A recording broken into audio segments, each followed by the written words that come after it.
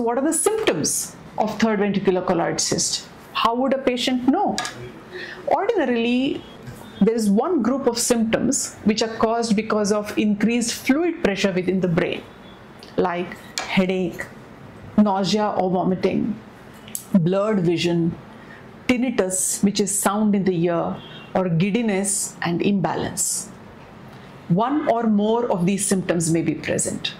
The second set of symptoms are because of pressure on important structures around the growing or enlarging cyst, like memory issues, forgetfulness, confusion, difficulty in walking, or brief loss of consciousness, or coma. The greatest and most serious risk of the third ventricular colloid cyst is sudden death, which is why it is important to diagnose it in time and act upon it in time.